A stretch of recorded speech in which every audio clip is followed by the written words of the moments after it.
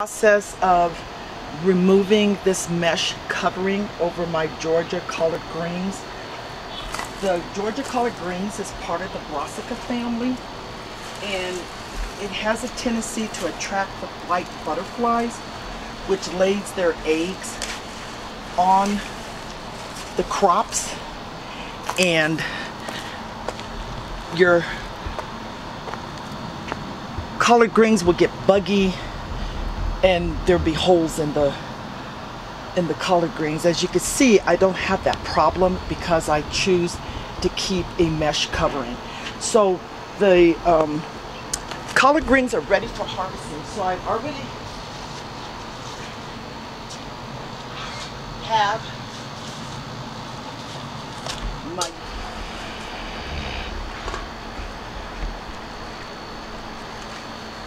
As you can see, I just completed harvesting the Georgia collard greens. I got two large bowls of collard greens for dinner tonight. I started these collard greens from seed early this season and it is the beginning of August and I'm able to get a really good harvest out of this crop. So now in a few minutes I'm going to go ahead and put the mesh covering back on the rest of the greens. If you want to come closer, you can see where I have removed all of the bottom leaves from the stalk and left the, the top leaves. And even with this stalk here, I've removed all of the bottom leaves and now all of the top leaves are going to grow and eventually these uh, collard greens are going to look like collard trees because the stalks are going to keep growing and the leaves are going to continue to produce at the top and the same way with this stalk and on and on and on. All of the stalks I I'll probably come back in later and clean up a little bit and get some of the smaller bottom leaves but I just want to kind of give you an idea of what that looks like when you are harvesting from the bottom up and you leave the top leaves and then you allow the collard stems to grow like a little tree and these top leaves will continue producing. And so you have it. Georgia collard greens growing in zone 5b started from a seed. It gets direct sun and I keep a cloth covering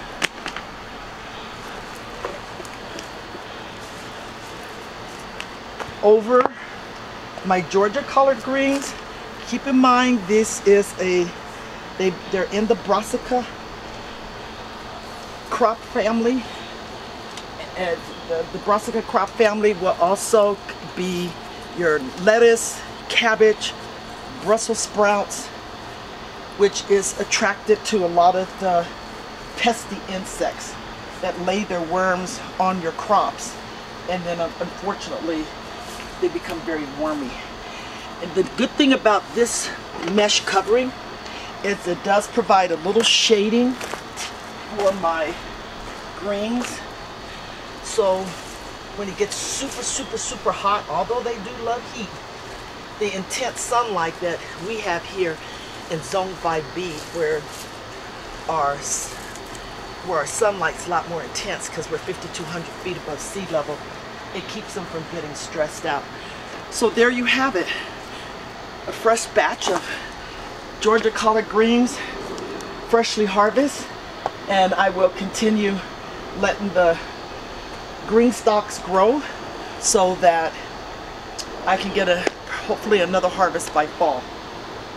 To grow your own food in your own backyard. And if you're new to my channel, please don't forget to hit the subscribe button and the like button. I want to share with you why I grow carrots in containers.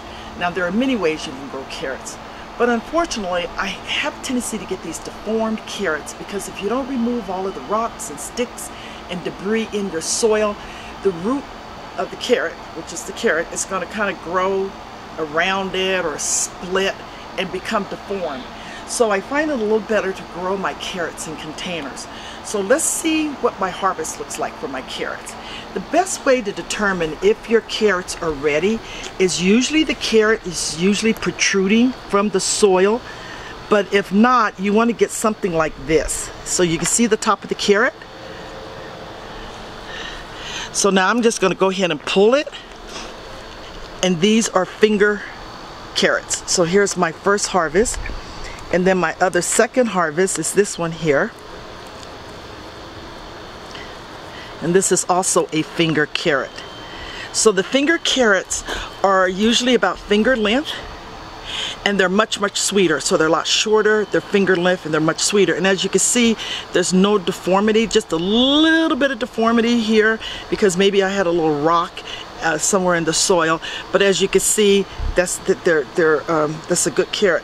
Now we're going to also do these as well. So here's the next one. Finger carrot. And this one is a carrot red coral Chantenay and I sowed the seed in April of 22. I sowed it indoors in my grow light. So here's another one that's ready to be harvested. And I love getting the small finger carrots because they're much, much sweeter.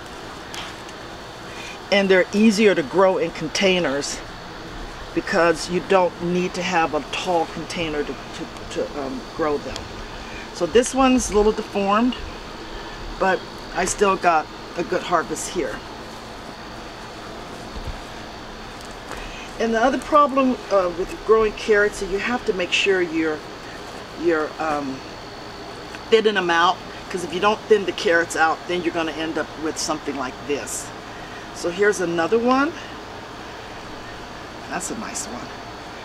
So some, you see where you get this little split.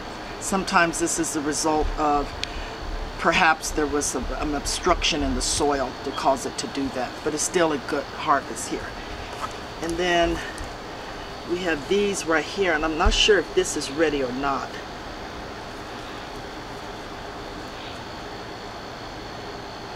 See now this is the result of not thinning out your carrot seeds, your carrots.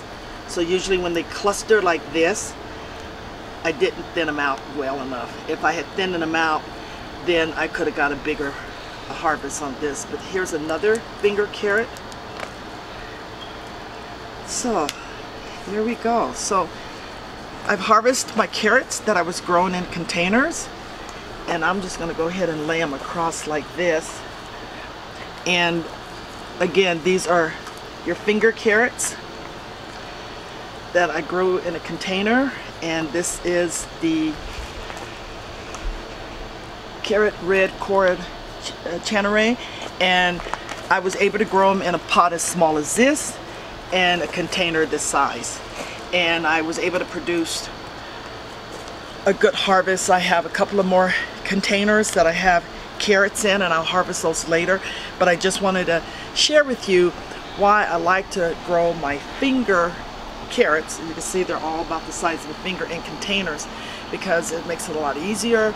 If you're out, if you don't have the room to grow carrots, keep in mind you can grow them in containers. If you select the finger carrots, you don't have to worry about trying to get a big pot to um, uh, uh, compensate for your tall carrots. You have your finger-sized carrots and they're much sweeter. So wanted to bring you along and talk to you about why I grow finger carrots in containers.